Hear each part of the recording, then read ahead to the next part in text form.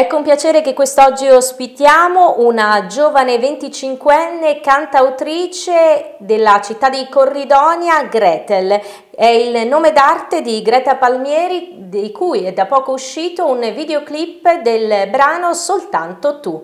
Grazie intanto Greta per aver accettato il nostro invito e per condividere con noi la tua esperienza. Grazie a te. Partiamo proprio dalle tue origini, perché sì. tu sei nata in Lituania sì. e poi sei stata adottata e sei arrivata qua in Italia. Sì, ho avuto questa fortuna, questo dono eh, grandissimo di essere stata adottata da una famiglia italiana dove all'età di dieci anni sono venuta qua in Italia a Corridonia. E ti sei dedicata sin da subito allo studio del canto e di alcuni strumenti musicali. Sì, eh, ho studiato il pianoforte, durante la pandemia più o meno mi sono avvicinata perché eh, per un cantautore saper suonare una, uno strumento molto, serve, quindi mh, mm, poi successivamente ho intrapreso lo studio della chitarra che è un altro strumento che sto studiando. Hai studiato da privatista canto in particolare ti sei specializzata nel pop e nel jazz. Sì, diciamo per sperimentare vari generi musicali, per avere una cultura solida, eh, ho variato un po' di genere come il classico, poi il jazz.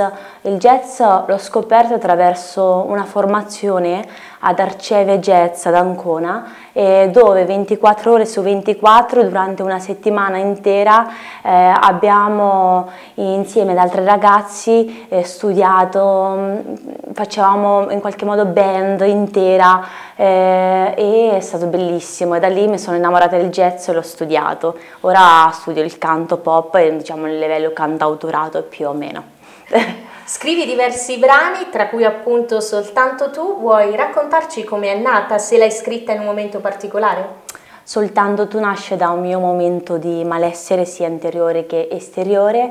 Ho voluto raccontare attraverso questo brano l'unicità della persona perché viviamo in una società dove eh, siamo, corriamo, quindi c'è una frenesia, non riusciamo ad essere omologati attraverso un ben pre preciso target di persone eh, e io stessa per la mia timidezza, il mio modo un po' introverso, spacciato, diciamo, che ho non riesco ad essere omologata in questa società dove vivo.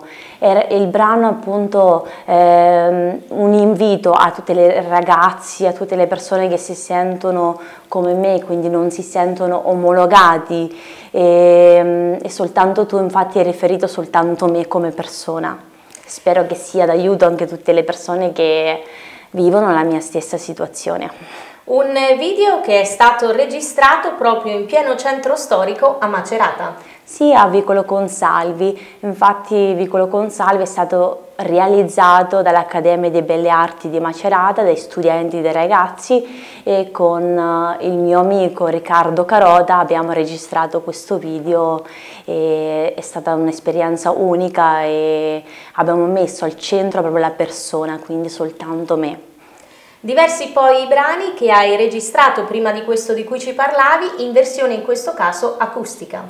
Sì, eh, diciamo, cioè soltanto tu nasce eh, proprio a livello di produzione, quindi non è proprio in acustico, però sì, di solito faccio una, diciamo, in qualche modo nasce dal eh, dal pianoforte e poi il producer che è Leonardo Coradetti ha realizzato tutto questo, questa, questo contorno all'interno di questo brano. Diversi gli stage, le masterclass e i corsi che hai frequentato, ma nel 2023 hai avuto la fortuna e il piacere di partecipare anche ad una voce per San Marino. Che esperienza è stata? Unica eh, è stata un'esperienza di crescita perché comunque da una ragazza timida che faceva eh, i concorsi canore così per passione a, a, davanti a una tv di Stato è stato un trampolino di lancio e sono grata di aver portato la mia musica e questo mio ultimo singolo Soltanto tu. C'è un momento della giornata in cui ti senti particolarmente ispirata e hai più voglia di scrivere? Beh, sempre, in realtà io ho tanto da raccontare, eh, dovuto anche dal mio passato difficile, eh, per dieci anni rinchiusa in una bolla, eh, c'è stato dietro una sofferenza anche psicologica ben importante, ho, voluto, ho tanto da raccontare e durante la giornata quando ho qualcosa da dire prendo la penna e scrivo. Stai quindi lavorando ad altri brani? Sì, sì, prossimamente, ecco, di recente uscirà un altro singolo che presenterò sul programma di Fiorello Viva e Viva Videobox eh, Voragine, che è il mio um, ultimo singolo che fra pochissimo uscirà. E ricordiamo appunto che proprio tra qualche giorno andrai a registrare a Roma tutto questo che poi verrà trasmesso prossimamente su Rai 2. Un sogno nel cassetto Greta che sogni di realizzare da qui al futuro? Fare musica, cercare di trasmettere pers alle persone che mi ascoltano la verità, la mia perlomeno verità all'interno delle canzoni, di portare anche dei messaggi ben positivi ai giovani, ai ragazzi come me. Importante per realizzare tutto ciò il sostegno dei tuoi familiari. Assolutamente sono grata alla mia famiglia per, ehm, perché mi danno un sostegno sia a livello psicologico che economico e sono grata. C'è un cantante che ammiri e con cui un giorno vorresti magari duettare? Beh, eh, portare in vita uno degli artisti, cioè che i miei idoli sono Freddie Mercury Queen, non posso, però il mio sogno di duettare è con Laura Pausini, che è una delle artiste a mio parere molto più interna eh, internazionali, veramente cioè, ci sono cresciuta fin da bambina. Chi volesse seguirti può ascoltare il tuo brano su YouTube e poi seguire anche i tuoi vari canali social. Sì, sono più attiva su Instagram come Gretel, puntino in mezzo, music, trattino in basso, poi dappertutto come Gretel. Ti ringraziamo ovviamente per esserci venuta a trovare e ti facciamo un grandissimo in bocca al lupo per la trasmissione con Fiorello e per tutti i tuoi progetti futuri. Viva il lupo, grazie mille.